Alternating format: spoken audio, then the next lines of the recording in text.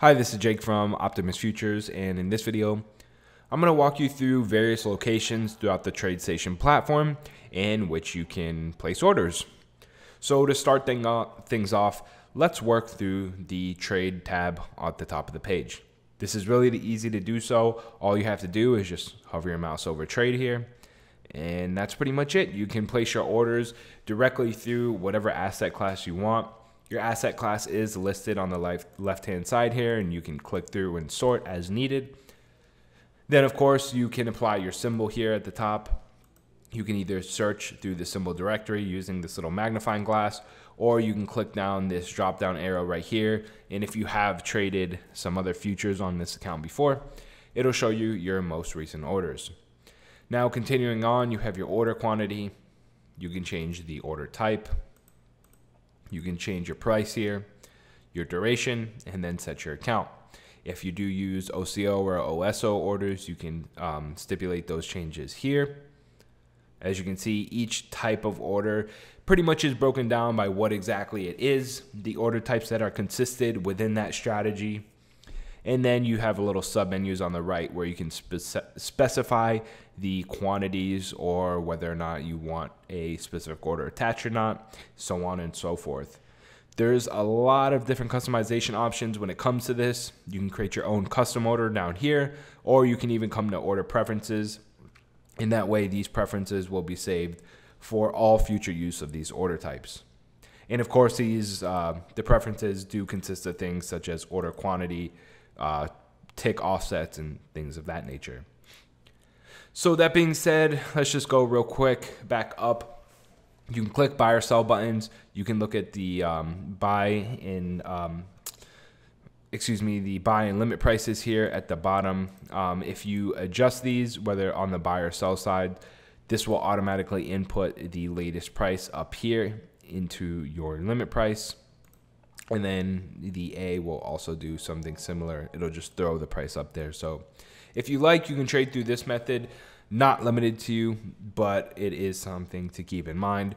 One last thing is the advanced section of this this portion of the um, trade tab. There's just things such as activation rules. You can put um, specific rules here if you want. These are pretty much orders that will pretty much automate trade for you. Or there's trailing stops, and then you can adjust those here if touch orders are show only. You'll notice this uh, keeps on kind of cutting away from me here, you can click this pin bar, which will kind of keep it locked there. You can also do this little shortcut here, click down this drop down arrow, and you can change if it's not locked, you can make it floating, you could dock it. And the auto hide is pretty much just something that I have enabled. This will pretty much just put it up there at the top. You'll notice this is gonna, just going to be docked here and locked in. You can click auto hide and it'll put it in its own little tab there. So that is the trading tab. Of course, it's very useful. It's convenient and it's a small shortcut. There are other locations though, so let's continue on. Next up, we do have market depth. Unfortunately, I can't show you too much functionality behind market depth because I am not enabled for it on the type account I'm using.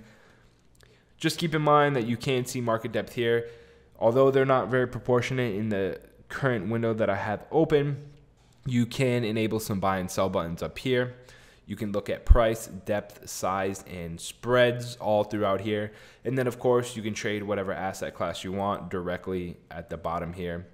Pretty similar to what we've seen before on the other trading bars, but again, just another option for those of you that may want to do everything in one convenient location. Speaking of which, the next thing we have up on our list is going to be the matrix.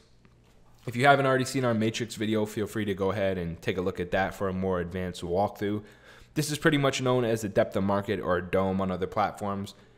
Either way, it's going to show you the volume and depth in the market. You can place orders directly through the DOM levels here, the different price levels on the corresponding bid and ask sizes. If you want, you can fill everything out and enter them on the right hand side here.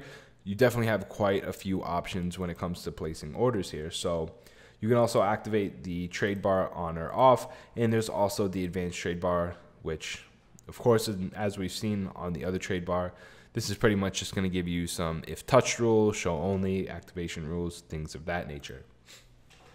So let's continue on in other locations now. Coming back up to apps, the next one we can actually do is um, the quick trade bar. If we open that up, this is pretty much just going to allow us to throw this off in a corner or even on another monitor if you want to. You've probably seen this if you do Forex trade. If not, that's okay. These are just pretty much quick order buy and sell buttons.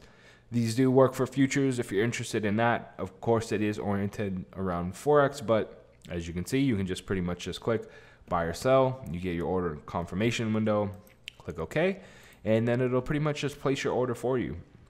You can close orders out of here, you can cancel. So, one convenient location if you're interested in something small and, of course, convenient again. Now, next up, let's go back to apps. This is going to be um, a little bit different, and not everybody may want to use this, but the chart analysis. This is going to be used for those traders that do trade directly through the chart, so this is an option for you. It's going to take a second to configure this for me, but once we have it open, we can pretty much trade if we want to directly through a chart. You can do so by right clicking on your chart here, coming down to chart trading, now this will activate your chart trade mode. So once this loads for me, we do get some tips if you want to do it. So let's just keep this tips, these tips up so you can read along with them as well. But so as you can see, if you're looking to buy, um, buy anything pretty much, you want to use your left click. Now there are a couple ways to do so. You can either click control to buy a limit. You can and that's going to be below the ask price. If you hit control and then click above the market, this is going to put in a stop market order. And then if you use a shift in a left click, this is going to place a buy stop limit order if this is above the ask price. Continuing on, you'll notice that Alt is going to be your primary click for your sell buttons. So, of course, and again, this is going to be dependent on where you click on the market. A sell limit is going to be placed if you click above the bid price. A sell stop is going to be placed if you click below the bid price. That's going to be an alt left click, of course. And then the only difference here is the limit order is going to be a shift click. Now, this is going to be below the bid price. So just to show you, let's do one right here. Let's click Alt on my keyboard, click left click below the bid price. And as you see here, this automatically configures us for a stop market again. And as you can see on the right hand side here, this is because I just alt in click below the market. Clicking on yes here, you'll see you do get a visual representation of where your order was placed. If you want, you can even left click, drag and hold to readjust.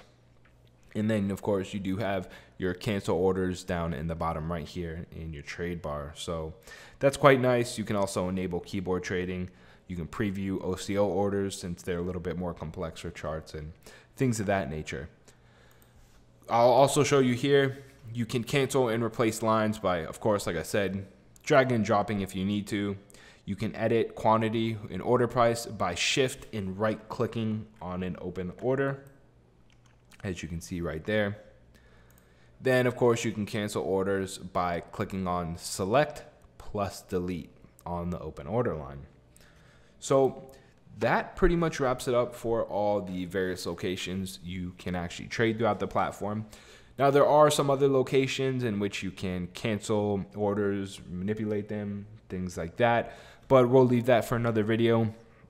If there wasn't anything in this video that we mentioned as far as where to place orders, feel free to comment in the section comment section down below. I'm sure it'll help other traders out. There are quite a few places on this platform to trade, so we attempted to cover the major ones. If there's anything else we missed, please let us know. If you did enjoy this content, please give it a thumbs up. Subscribe for more TradeStation content as well as future trading podcast, advice, tips, things of that nature. And as always, thanks for watching.